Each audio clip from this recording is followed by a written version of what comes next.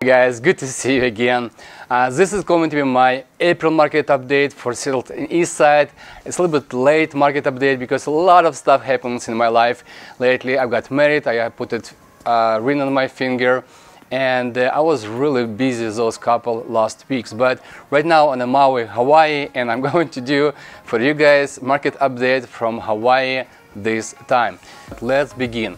I will start with Seattle's east side and on Seattle's east side we have very low inventory right now. We have 0.2 months of inventory with 216 homes available in the market for all those east side cities and we have about 893 pending sales in months of March. Medium sale price in Seattle's east side increased to $1,350,000 and increase for 30% year over year.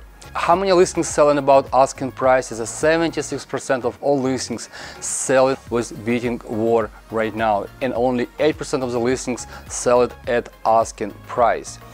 And the affordability level is actually really decreased right now because property increased a lot in the value. All those houses sold in April, they sold about from 20 to 25% above asking price. And as soon as the data going to be recorded, the price is going to be increased again. As of selling is really high in sales east side, it's about 87%. And let's see together Seattle data. In Seattle, we have only 498 active listings in the market in the month of March, and we have over like 1,046 pending homes uh, in Seattle. In Seattle, we have 0.5 months inventory with medium sale price $825,000 and increase for 4% year over year. 52% of all homes in Seattle selling above asking price and 19% of all homes in Seattle selling at asking price. And affordability level, same as Seattle's east side, is decreased right now because houses uh, increase in value and become not as affordable. And also, it's a strong sellers market in Seattle. We have 80% odds of selling in all Seattle areas right now. And let me show you guys this very interesting graph, number of listings sold above list price. And I will start with Seattle's east side location so you guys can see together with me. In March, we have 76% all homes sold about asking price but if you guys can look data for 2020 2017 18 and 19 you guys can see together with me the data shows like we have a huge spike usually in March because we have very low inventory but we should have more supply and, and more homes on the market available in months of April, May through the July. It's going to help for the buyers who more caution and did not buy house before. We're going to have more listings available in the market. Uh, as you guys can see, this historical data backups this information.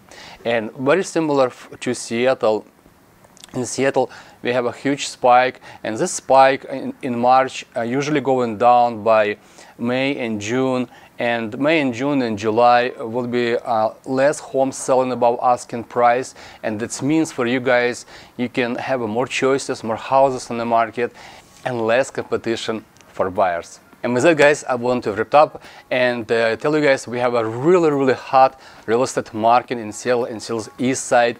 Competition is huge. Uh, in order to buy any property, most buyers waiving all contingencies and they are paying like from 20 to 25 percent, sometimes in 35 percent over asking price in order to buy those homes. But you should not lose your hope if you buy and looking to buy property because historically in March we, ha we have always lowest inventory and that's going to be changed in May, June, July we're going to have more listings available in the market.